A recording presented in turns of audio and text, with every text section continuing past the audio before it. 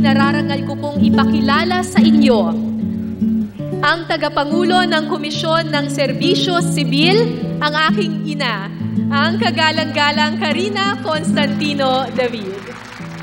Salamat anak.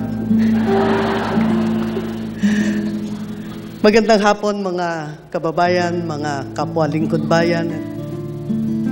Ito ang huling honor awards na dadaluhan ko bilang tagapangulo. Kasi sana yun sa mga susunod, iimbitahin naman ninyo ako para patuloy akong ma-inspire sa ginagawa ng libu-libong mga kawani ng ating pamahalaan.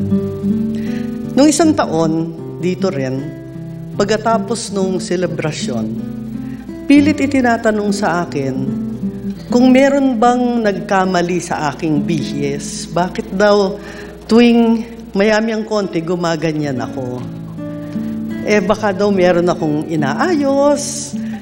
Uh, at pinaliwanag ko at papaliwanag ko rin sa inyo ngayon na itong kilos na ito ay nakuha ko sa ating mga kababayan sa Mindanao. At ang ibig sabihin, eh, magmula sa aking puso, kapayapaan.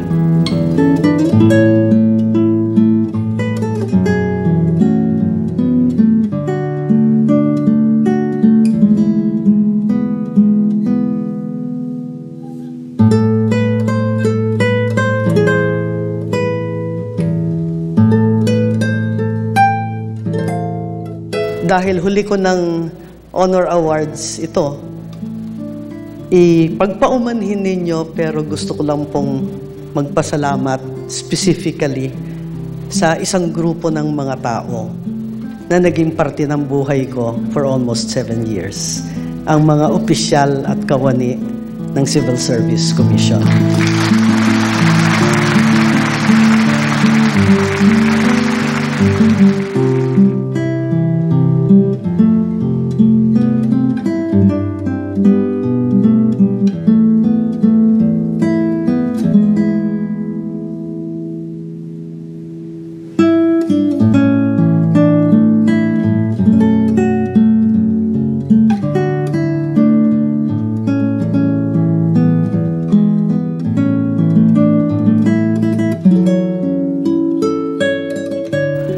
At gusto ko lamang sabihin sa inyo na siguro dahil ang mga tao sa Civil Service Commission eh banned sa honor awards kasi kami yung namamahala. Kaya walang ni isa sa kanila ang uh, nabibigyan ng award. Gusto kong ibigay sa kanila sa araw na ito ang award mula sa aking puso. Thank you.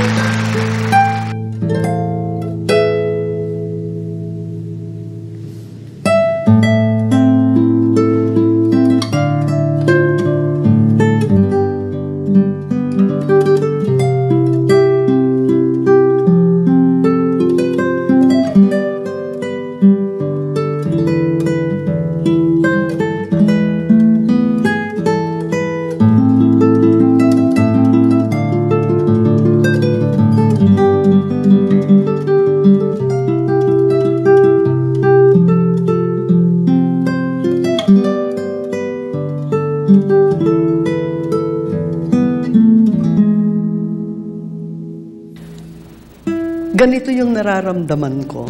Taos puso, pasasalamat, paghangad ng kapayapaan para sa ating mga awardees ngayong gabi, para sa mga nakaraan nating mga awardees, para dun sa huling listahan na binasa nyo ng ating mga kasamahan na hindi na nasa ating piling sa ngayon. Lahat ng mga tapat na naglingkod sa sambayanan sa pamamagitan ng serbisyo sibil.